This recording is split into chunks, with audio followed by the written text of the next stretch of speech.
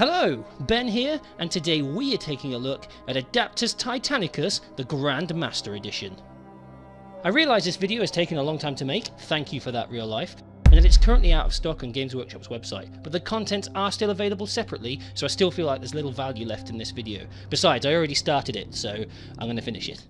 The box is one hefty beast, as it should be, for it is chock filled with sprues, rules, and other bits you need to get building and playing this amazing game. So let's not waste any more time and get to the parts of this box that everybody really wants to be talking about. The ruler! No, joking. Nobody likes the rulers. W well, actually, um, no, I still, I still need to talk about this. Uh, I shouldn't throw. No, I'll, I'll go get it. The box contains 17 sprues all in all. 6 for the Warlord Titans, 3 per Titan, 2 for the Imperial Knights, 3 per sprue, 8 for the scenery, and 1 for the tokens, the counters, and the battlefield assets. It should come as no surprise to anyone by now just how sharp the detail is on Games Workshop's plastics. Even on the sprues you can see they've managed to capture the scale of a 108 foot tall god machine, although I did think they were bigger than that to be honest. Each Titan comes with armour plates for Loyalist and Traitor Titans and a blank plate, which is a nice touch as I plan on building the box in a way that allows me to use the contents as two separate forces or one big one, as I probably won't be buying any more for this game. I'm also very impressed with the Imperial Knight sprues. If you've ever built a 40k Imperial Knight, you can see they've managed to scale down and simplify its kit. They squeeze three knights onto one sprue. They also come with three weapon options. I'm not sure if they can be magnetised like the weapons on the Titans, but I'm going to give it a go. The box comes with two Civitas Imperialis scenery kits, from what I can work out. Again, the scale is captured really nicely, and I'm looking forward to seeing what can be done with this modular terrain. I was really surprised by the quality of the hardback rulebook. It's printed nicely in colour and feels solid, like a codex or an Age of Sigmar army book. It contains rules for playing the game in open play, match play, and narrative play, and has missions and stratagems. It's chock full of fluff and paint schemes for Titan Legions. I don't really know what I was expecting, but this makes Titanicus feel like its own game system, and not just a flash in the pan board game. There is also two quick reference sheets, one for each player, which is nice, and they are nicely laid out with page references for the rulebook. This is good, you should do more of this Games Workshop. Anyone keeping up with the news on Titanicus will recognise the command terminal cards.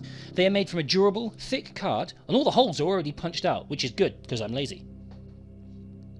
The best part is you get two cards for each Titan, even ones that have not yet been released, which is great for expanding the game, as you'll only need to buy minis and no more books or rules, not like another box game I could mention. The stratagem, mission cards, and weapon cards are all nicely printed and made from a tough laminated card, although, thanks to some extensive testing and being an absolute idiot, I've discovered you can rip them. The box comes with a whole bunch of dice 10d6, 6 order dice, a location dice, a scatter dice, a reactor dice, and 2d10. These are really nice, and they are as good as any faction dice Games Workshop has released for other systems. They could have easily just have included some basic red and white dice and sold these separately, so I really appreciate their addition as it adds a lot of extra value to this kit. The templates have made a return in Fetching Blue. They are the same as the old 40k template. I think I'll just keep these in the box so both players can have a set in games. You get three instruction manuals for assembly. They are up to Games Workshop's usual high standards. Two sets of each decals for the Titans and the Knights. Bases for the minis. And that ruler.